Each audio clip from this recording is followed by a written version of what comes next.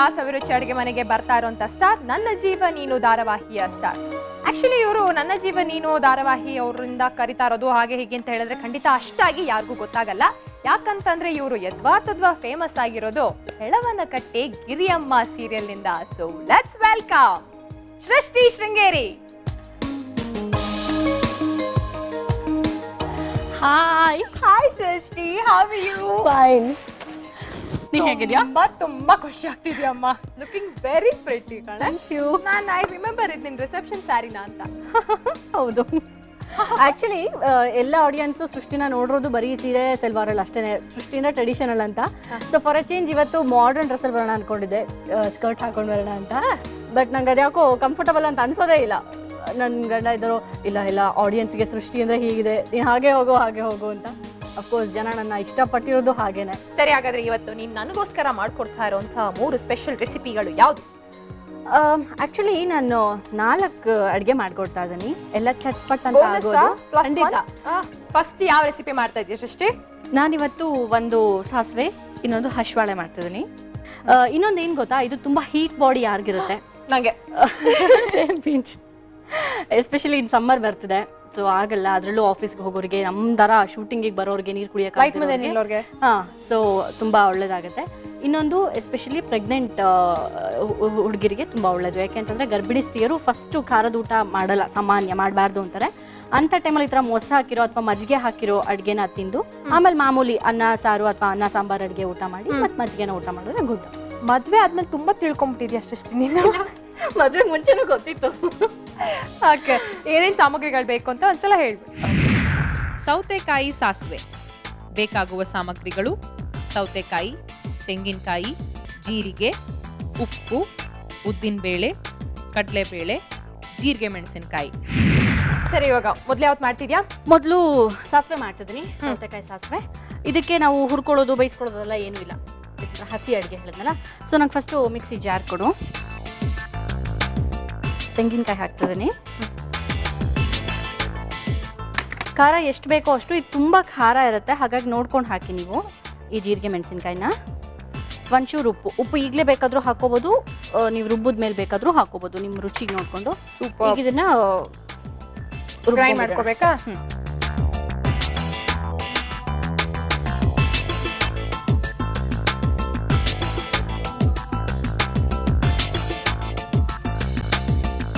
ಈಗ ಇದಕ್ಕೆ ಸೌತೆಕಾಯಿ ಹಾಕೋಣ ರಚಿತಾ.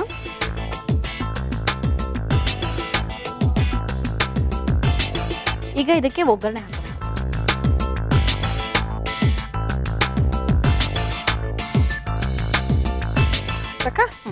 ಇದಕ್ಕೆ ತುಂಬಾ ಎಣ್ಣೆ ಬೇಕಾಗಲ್ಲ. ಏನಂದ್ರೆ ಉದ್ದಿನ ಬೇಳೆ ಕಡಲೆ ಬೇಳೆ ಕಟ್ಟುಮ್ ಕುಟುಂಬ ಅಂತಿದ್ರೆ ಅದ್ರಲ್ಲಿ ಸಿಗೋ ಮಜಾನೇ ಬೇರೆ. ಅದಕ್ಕೋಸ್ಕರ ಒಗ್ಗರಣೆ ಹಾಕ್ತಿರೋದು ಅಷ್ಟೇ. ಓಕೆ?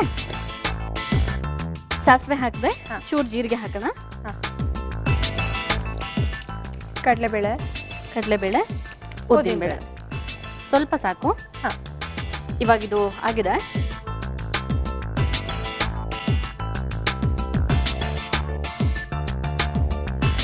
ಸೌತೆಕಾಯಿ ಸಾಸಿವೆ ರೆಡಿ ಆದ್ರೆ ಕಂಪ್ಲೀಟ್ ಆಗಿ ಆಗಿಲ್ಲ. ಒಗ್ಗರಣೆ ಈಗ ತಾನೇ ಹಾಕಿದೀನಿ ಎಣ್ಣೆ ಬಿಸಿ ಇದೆ. ಸೊ ಇದಕ್ಕೆ ಮೊಸರು ಆ್ಯಡ್ ಮಾಡ್ಬೇಕಾಗತ್ತೆ. ನಾನು ಮುಂಚೆನೇ ಹೇಳಿದೆ ಮಜ್ಜಿಗೆ ಐಟಮ್ ಮಾಡಬೇಕು ಅಂತ. ಸೊ ಮಜ್ಜಿಗೆ ಐಟಮ್ ಮಾಡ್ತಿರುವಾಗ ಬಿಸಿ ಬಿಸಿಗೆ ಹಾಕಬಾರ್ದು. ಅದನ್ನ ಸ್ವಲ್ಪ ಆ ಉಪ್ಪು ಹುಳಿ ಖಾರ ಹಿಡ್ಕೊಳ್ಳಿ.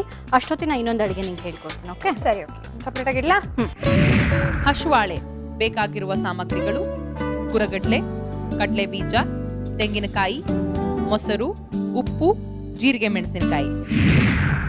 ಇನ್ನೊಂದು ಇದು ಹುರ್ಗಡ್ಲೆ ಕಡಲೆ ಬೇಳೆ ಮತ್ತೆ ಮೆಂತ್ಯನಲ್ಲಿ ಮಾಡ್ಬೋದು. ಆದರೆ ಕಡಲೆ ಬೇಳೆ ಮೆಂತ್ಯದಲ್ಲಿ ಮಾಡೋದಾದ್ರೆ ಅದನ್ನ ಸ್ವಲ್ಪ ಮುಂಚೆನೆ ನೆನೆಸಿಟ್ಕೋಬೇಕು. ಮಧ್ಯಾಹ್ನ ಅಡುಗೆ ಮಾಡೋದಾದ್ರೆ ಬೆಳಗ್ಗೆ ನೆನೆಸಿಟ್ಕೊಂಡ್ರೆ ಸಾಕು. ನಾನು ಇವಾಗ ಹುರ್ಗಡ್ಲೆನಲ್ಲಿ ಮಾಡ್ತೀನಿ ಓಕೆ? ಅದಕ್ಕೆ ಜೀರಿಗೆ ಮೆಣಸಿನ್ಕಾಯಿ. ಜೀರಿಗೆ ಮೆಣಸಿನ್ಕಾಯಿ. ಅಥವಾ ಹಸಿ ಮೆಣಸಿನ್ಕಾಯಿ ಹಾಕೋಬಹುದು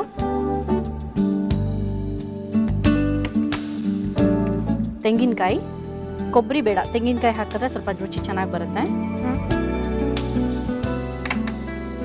ಹ್ಮ್.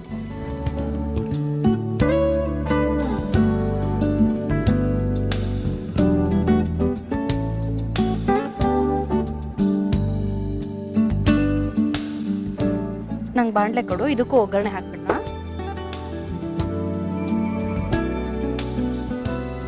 ಯಾವತ್ತು ಫಸ್ಟ್ ಲೆಸನ್ನು ಸ್ಟವ್ ಆನ್ ಮಾಡೋದು, ಎಣ್ಣೆ ಕೊಡಿ. ಎಣ್ಣೆ ಕಾದಿದೆ. ಜ್ಯೂಸ್ ಸಾಸಿವೆ ಜೀರಿಗೆ. ಜೀರಿಗೆ. ಕಡಲೆಬೇಳೆ. ಉದ್ದಿನಬೇಳೆ ಕಡಲೆಬೇಳೆ. ಹಾಂ.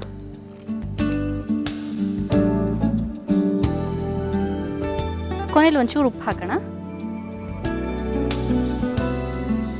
ಆಯ್ತಾ ಅದು? ಆಯ್ತು. ಸರಿ ಇವಾಗ ಇದಕ್ಕೇನೋ ಆಡ್ ಮಾಡಬೇಕು ಅಂತ ಹೇಳಿದ್ದೆ. ಇದು ಸಾಸಿವೆ. ಸಾಸಿವೆ.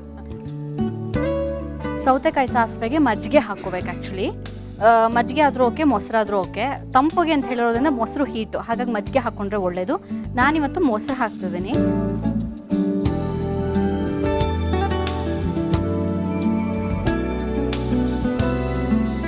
ಇದು ಆರಿದೆ ಅಲ್ಲ? ಇದಕ್ಕೂ ಒಂದು ಸ್ಪೂನ್ ಹಾಗೆ ಮೊಸರು.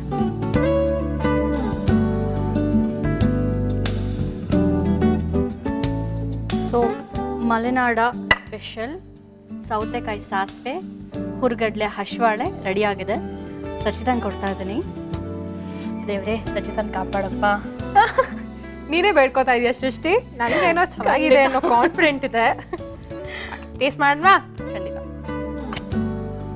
ಫಸ್ಟ್ ನಾನು ತಿಂತಾ ಇರೋದು ಸೌತೆಕಾಯಿ ಸಾಸಿವೆ. ಭಾರಿ ಖಾರ ಇದೆ ಕಣೆ.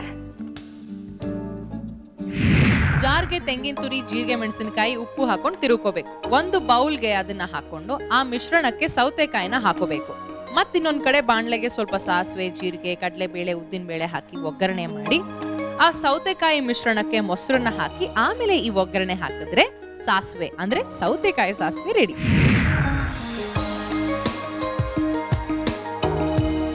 ನಿಜವಾಗ್ಲೂ ತುಂಬಾ ಟೇಸ್ಟಿ ಆಗಿದೆ ಕಣೆ. ಎಸ್ಪೆಷಲಿ ಸೌತೆಕಾಯಿ ಹ್ಮ್ ಕರುಮ್ ಕರುಮ್ ಅಂತ ಏನ್ ಹೇಳಿ ನೀನು ಚೆನ್ನಾಗಿದೆ. ಥ್ಯಾಂಕ್ ಯು ಸೋ ಮಚ್ ಸೃಷ್ಟಿ. ಜಾರ್ಗೆ ಹುರುಗಡ್ಲೆ ಜೀರಿಗೆ ಮೆಣಸಿನಕಾಯಿ ತೆಂಗಿನಕಾಯಿ ಹಾಕಿ ತಿರುಕೊಂಡು ಒಂದು ಬೌಲ್ಗೆ ಹಾಕೋಬೇಕು. ಇನ್ನೊಂದು ಬಾಣಲೆಯಲ್ಲಿ ಸ್ವಲ್ಪ ಎಣ್ಣೆ ಹಾಕಿ ಸಾಸಿವೆ ಜೀರಿಗೆ ಕಡಲೆಬೇಳೆ ಹಾಕಿ ಒಗ್ಗರಣೆ ಮಾಡಿ ತಿರುಕೊಂಡಿರೋಂತಹ ಬೌಲ್ಗೆ ಅದನ್ನ ಹಾಕಿ ಉಪ್ಪು ಹಾಕಿ ಕಲಿಸ್ಬಿಟ್ರೆ ಕಡೆಯಲ್ಲಿ ಅದಕ್ಕೆ ಮೊಸರು ಹಾಕಿದ್ರೆ ಹಸುವಾಳೆ ರೆಡಿ ವೀಕ್ಷಕರೇ ಸೃಷ್ಟಿ ಎರಡು ರೆಸಿಪಿ ಸಖತ್ತಾಗಿರೋ ಎರಡು ರೆಸಿಪಿ ಮಾಡ್ಕೊಟ್ಟಿದ್ದಾಳೆ. ನೀವು ಮನೇಲಿ ಟ್ರೈ ಮಾಡ್ಬಿಟ್ಟು ನನಗೆ ಹೇಳ್ಬೇಕಾಯ್ತಾ ಹೇಗಿತ್ತು ಅಂತ? ಈಗ ಒಂದು ಟಿಪ್ಪು ಬೀಟ್ರೂಟ್ ಉಪಯೋಗಿಸ್ಕೊಂಡು ಕೂದಲನ್ನ ಫಳಫಳ ಅಂತ ಹೊಳೆಯೋ ಹಾಗೆ ಹೇಗೆ ಮಾಡೋದು?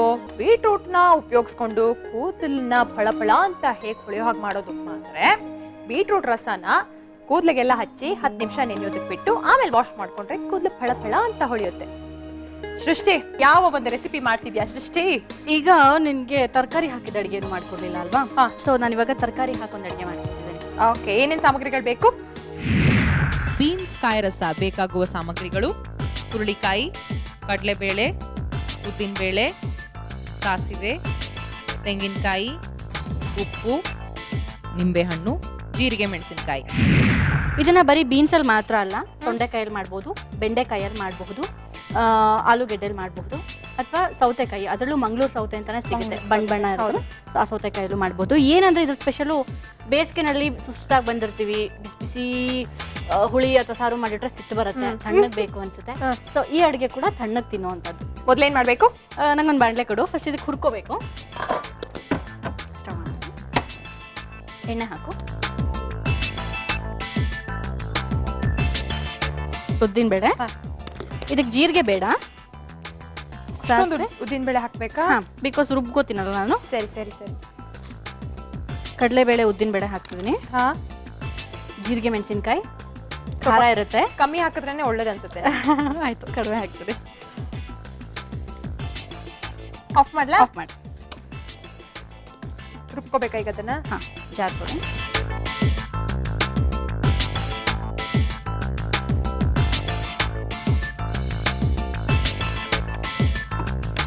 ಇದಕ್ಕಿವಾಗ. ತೆಂಗಿನಕಾಯಿ ಹಾಕ್ಕೊಂಡು ರುಬ್ಬಣ.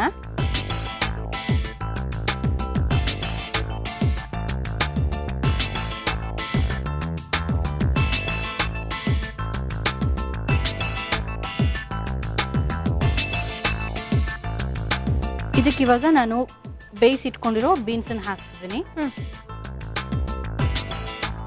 ಬಿಸಿ ತರಕಾರಿ ಹಾಕಬಾರ್ದು. ಬೇಯಿಸಿ ಅದು ಆರಕ್ ಬಿಟ್ಟು ಅದು ತಣ್ಣಗಾದ್ಮೇಲೆ ಈ ರುಬ್ಬಿರೋದನ್ನ ಮಿಕ್ಸ್ ಮಾಡಿ ಅದೇ ಸ್ಪೆಷಾಲಿಟಿ ನೀನ್ Correct. ಮಾಡ್ತಾ ಇರೋ ಅಷ್ಟು ಅಡುಗೆಗಳಿಗೆ ಅದೇ ಸ್ಪೆಷಲ್ ಅದೇ ಸ್ಪೆಷಲ್ ಇದಕ್ಕೆ ಕೊನೆಯಲ್ಲಿ ಒಂಚೂರು ಉಪ್ಪು ಹಾಕ್ತಿದ್ದೀನಿ. ಹಾ. ಯಾಕೆ ನಾನು ರುಬ್ಗೊಳಕ್ಕೆ ಉಪ್ಪು ಹಾಕಿಲ್ಲ. ಓಕೆ ಲೆಮನ್ನು ಅಷ್ಟೇ. ನಿಮ್ಗೆ ಎಷ್ಟು ಬೇಕೋ ಅಷ್ಟು ನೋಡ್ಕೊಂಡು ಹಾಕು ರಸ ಅಷ್ಟೇ. ಫೈನಲಿ ಕಷ್ಟಪಟ್ಟು ಬೀನ್ಸ್ ಕಾಯಿ ರಸ ರೆಡಿ ಮಾಡಿದ್ದೀನಿ. ತಗೋ. ಥ್ಯಾಂಕ್ ಯು ಸೃಷ್ಟಿ. ರಚಿತಾ ಈಗ ಸತ್ಯ ಹೇಳಿರ ಚುಚ್ಚಿಬಿಡ್ತೀನಿ. ಸುಮ್ ಸುಮ್ಮನೆ ಚೆನ್ನಾಗಿದೆ ಅನ್ಬಾರ್ದು ಕರೆಕ್ಟಾಗಿ ನೋಡಿ ಹೇಳು. ಆದ್ರೆ ನೀನು ಹಾಕೊಂಡಿರೋ ಕಾಸ್ಟ್ಯೂಮ್ಗೂ ನೀನ್ ಇಟ್ಕೊಂಡಿರೋ ಆಯುಧಕ್ಕೂ ಕರೆಕ್ಟಾಗಿ ಕಾಣಿಸ್ತಿದ್ಯಮ್ಮ. ತ್ರಿಶೂಲ ಇರ್ಬೇಕಿತ್ತು ಇದಕ್ಕಿಂತ ಅಲ್ಲ ಬೇಡ ಅದನ್ನ ಇಟ್ಬಿಡು ಸೈಡ್ಗೆ ನಂಗೆ ಭಯ. ತಗೋ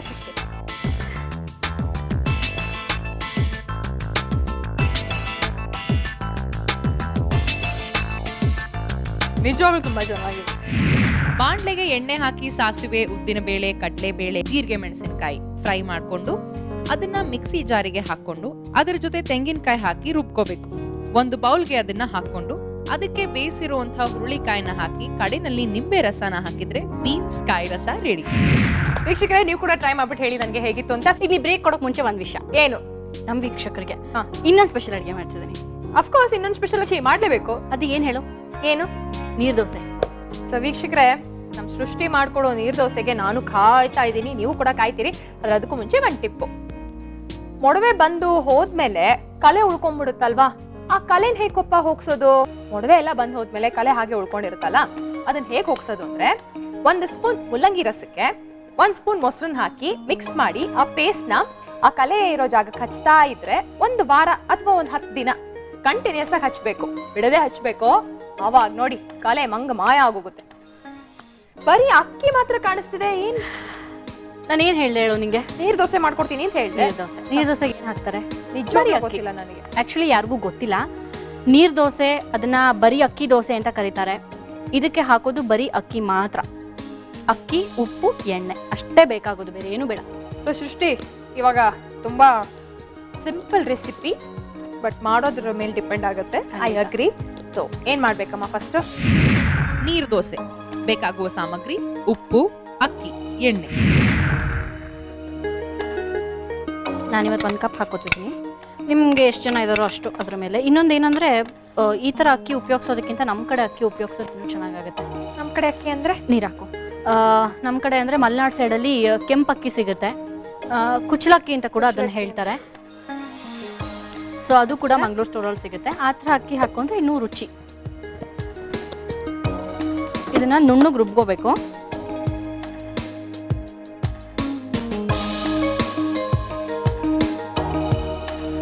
ರುಬ್ಕೊಂಡಾಯ್ತು. ತವಾ ಕೊಡು. ನೀರ್ ದೋಸೆಗೆ ಅಂತಾನೆ? ಸ್ಪೆಷಲ್ ತವಾ. ಸ್ಪೆಷಲ್ ತವಾ ಇದು.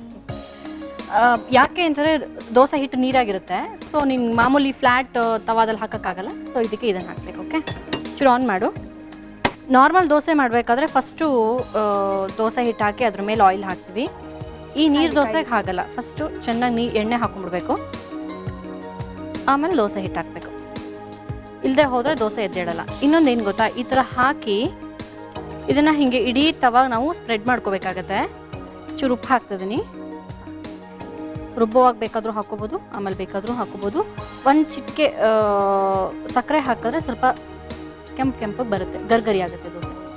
ಸಿ ಇಷ್ಟು ದಪ್ಪ ಇರಬಾರ್ದು ದೋಸೆ ಹಿಟ್ಟು ನೀರು ದೋಸೆ ಹಿಟ್ಟು. ಸ್ವಲ್ಪ ತೆಳ್ಳಗಾಗಬೇಕು ಚೂರು ನೀರು. ಮಾಮೂಲಿ ದೋಸೆ ಹಿಟ್ಟಾದರೆ ಇಷ್ಟು ದಪ್ಪ ಇರುತ್ತೆ. ಸಾಕು? ಸಾಕು. ಸಾಕು ಸಾಕು ಸಾಕು. ನೀರು ದೋಸೆ ಹಿಟ್ಟು ಅಂದರೆ ನೀರಾಗೆ ಇರಬೇಕು. ಇದನ್ನ ಬರಿಯಕ್ಕಿ ದೋಸೆ ಅಂತಲೂ ಕರೀತಾರೆ. ಹಾಕ್ಲಾ? ಬೇಗ ಬೇಗ.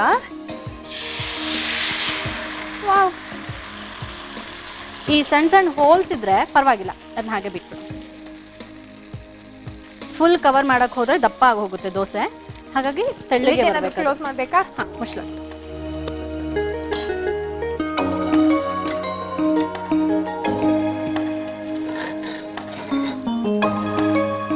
ಸ್ವಲ್ಪ ಸಣ್ಣ ಉರಿಲಿ ಇಟ್ಕೊಂಡು ಮಾಡಿದ್ರೆ ಸಾಫ್ಟ್ ಆಗಿ ಬರುತ್ತೆ ದೋಸೆ. ನಂಗೆ ಒಂದು ಪ್ಲೇಟ್ ಕೊಡು.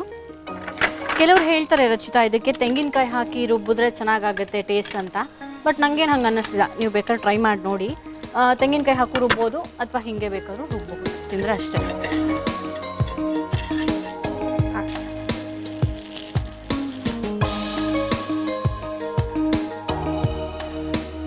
ಆಯಿಲ್ ಮಾತ್ರ ಸ್ವಲ್ಪ ಜಾಸ್ತಿ ಬೇಕಾಗುತ್ತೆ ಇದಕ್ಕೆ. ಓಕೆ ಒಂದು ಎರಡು ದೋಸೆ ಆಗೋ ತನಕ ಅಷ್ಟೇ ಆಮೇಲೆ ಸ್ವಲ್ಪ ಸ್ಟವ್ನ ಸಣ್ಣಗೆ ಮಾಡಿಕೊಂಡು ಬೇಯಿಸ್ಬೇಕಾಗತ್ತೆ.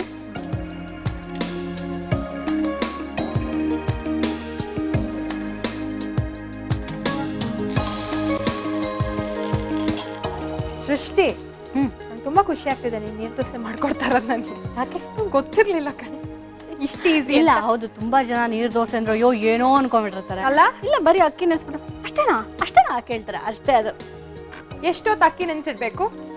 ರಾತ್ರಿ ನೆನ್ಸಿಟ್ಟು ಬೆಳಗ್ಗೆ ರುಬ್ಬಿದ್ರೆ ಸಾಕು. ಆಫ್ ಮಾಡೋಣ ಆಫ್ ಮಾಡ ಸೊ ಫೈನಲಿ ಬಿಸಿ ಬಿಸಿ ಮಲ್ನಾಡ್ ಸ್ಪೆಷಲ್ ನೀರು ದೋಸೆ ರೆಡಿ ಆಗಿದೆ. ಖಚಿತ ಕೊಡೋಣ. ಥ್ಯಾಂಕ್ ಯು ಸೋ ಮಚ್ ಸೃಷ್ಟಿ ಇಷ್ಟೊತ್ತು ಇದಿರ್ಲಿಲ್ವಲ್ಲ ಇದೇನು ಸಡನ್ ಆಗಿ ಬಂದ್ಬಿಟ್ಟಿದೆ? ಕಾಯಿ ಚಟ್ನಿ ಸ್ಪೆಷಲ್ ಆಗಿ ಪಕ್ಕದಲ್ಲಿಟ್ಟೆ ಬಿಕಾಸ್ ಚಟ್ನಿ ಮಾಡೋದು ಎಲ್ಲರಿಗೂ ಗೊತ್ತಿರುತ್ತೆ ಬಹುಶಃ ಅಷ್ಟು ನನ್ನಷ್ಟು ಎಲ್ಬೋಡಲ್ಲ ಅನ್ಕೊಂಡಿದ್ದೀನಿ ಮಾಮೂಲಿ ಕಾಯಿ ಚಟ್ನಿ ಜೊತೆ ತಿನ್ಬೋದು. Thank you so much ya. ಎಲ್ಲ ಸೂಟ್ ಆಗುತ್ತೆ. ಪಲ್ಯ ಗೊಜ್ಜು. ಸೃಷ್ಟಿಗೆ ಹೇಳೋ ಹಾಗೆ ಇಲ್ಲ. ನಮ್ಮ ಕಾರ್ಯಕ್ರಮದ ಸ್ಪೆಷಲ್ ಸರ್ಪ್ರೈಸ್ ಅವಳಿಗೆ ಗೊತ್ತೇ ಇದೆ. ಆದ್ರೆ ಯಾರು ಬರ್ತಿದ್ದಾರೆ ಅನ್ನೋ ಸರ್ಪ್ರೈಸ್ ಅಲ್ವಾ? ಹಾ ಸರ್ಪ್ರೈಸ್ ಗೊತ್ತು ಬಟ್ ಅಲ್ವಾ? ಸೊ ಸರ್ಪ್ರೈಸ್ ರೆಡಿ ಇದೆಯಾ? ಕಾಯ್ತಾ ಇದ್ದೀನಿ ಕಣ್ಣಿಗೆ ಬಟ್ಟೆ ಕಟ್ಟ ಮೋಸ ಮಾಡೋದ. ಮಾಡಲ್ಲ ಪರವಾಗಿಲ್ಲ ಅಬಾಟ್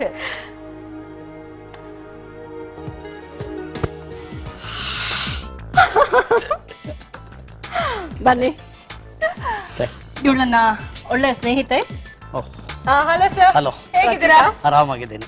ಸರಿ ನೀನು ನಮ್ಮ ವೀಕ್ಷಕರ ಫಸ್ಟ್ ಇಂಟ್ರೊಡ್ಯೂಸ್ ಮಾಡ್ಕೊಟ್ಬಿಡಮ್ಮ ಇವ್ರ ಹೆಸರು ಶಶಿರಾಜ್ ಅಂತ. ಆ, ನನಗೆ ಫ್ರೆಂಡು ನನ್ನ ಫ್ರೆಂಡ್ ಅನ್ನೋದಕ್ಕಿಂತ ಹೆಚ್ಚಾಗಿ ನನ್ನ ಹಸ್ಬೆಂಡ್ಗೆ ತುಂಬಾ ಕ್ಲೋಸ್ ಫ್ರೆಂಡು ಅವರಿಂದ ನನಗೆ ಪರಿಚಯ ಈಗ ನಂಗೆ ತುಂಬಾ ಕ್ಲೋಸ್ ಫ್ರೆಂಡ್ ಅವರು.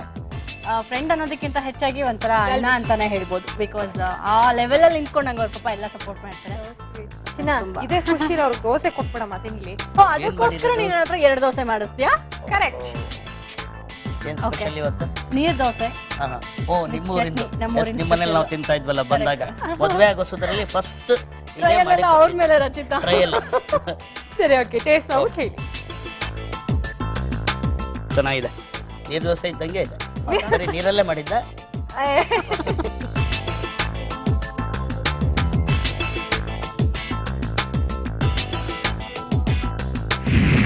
ಅಕ್ಕಿನ ಇಡೀ ರಾತ್ರಿ ನೆನೆಸಿಟ್ಟು ಬೆಳಗ್ಗೆ ಅದನ್ನ ಮಿಕ್ಸಿ ಜಾರ್ನಲ್ಲಿ ತಿರುವಿ ಅದಕ್ಕೆ ಸ್ವಲ್ಪ ಉಪ್ಪು ಹಾಕಿ ಒಲೆ ಮೇಲೆ ತವಾನ ಇಟ್ಟು ತವಾ ಮೇಲೆ ಸ್ವಲ್ಪ ಎಣ್ಣೆ ಹಾಕಿ ತೆಳುವಾಗಿ ಇರುವಂತಹ ದೋಸೆ ಹಿಟ್ಟನ್ನ ತವಾ ಮೇಲೆ ಹರಡಿದ್ರೆ ನೀರ್ ದೋಸೆ ರೆಡಿ ಕೈಯಾರೆ ಬೊಕ್ಕೆನ ಕೊಟ್ಬಿಟ್ರೆ ಖಂಡಿತ. ನಿಜ ಹೇಳ್ಬೇಕು ಅಂದ್ರೆ ಈ ಒಂದು ವೇದಿಕೆ ನಂಗೆ ಅವಕಾಶ ಮಾಡಿಕೊಟ್ಟಿದ್ದಕ್ಕೆ ಥ್ಯಾಂಕ್ ಯು ಸೋ ಮಚ್ ಅವ್ರ ಋಣ ತೀರ್ಸೋದಕ್ಕೆ ಸಾಧ್ಯ ಇಲ್ಲ. ಆ ಮಟ್ಟಿಗೆ ಹೆಲ್ಪ್ ಮಾಡಿದ್ದಾರೆ.